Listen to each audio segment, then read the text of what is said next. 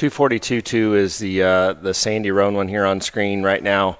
Uh, he's a who's on first on the top side. Uh, his mother is actually a visionary dirty secret. Uh, she's a direct visionary. She's a 135.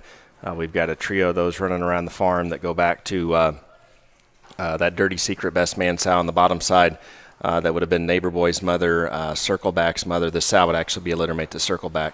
and who's on first again is a who made who uh, on Carol's sister. So neat pig, uh, obviously a unique colored one here, uh, but 242-2 uh, looks like one that uh, would be easy to feed uh, and the right kind pig, right kind of pig to feed from an immaturity standpoint. Yeah, I couldn't agree more. Um, from what we've seen out of some more of these who's on first this summer, um, you know, this looks like the right kind of speed. Uh, so comfortable and so basic in a skeleton, um, but short backed and very good looking up front. Uh, and again, like you said, more immature in every in, in kind of every regard, um, but the kind that look like they need uh, very low maintenance, very easy to feed, and the pig's going to do it himself. I mean, these things have gotten stout as they've matured this summer in terms of their muscle and their bone work, and I expect much the same to kind of continue here.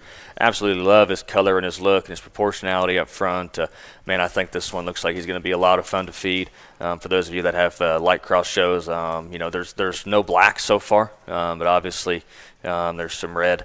Um, but again, um, I think a very very good one here in 242 too.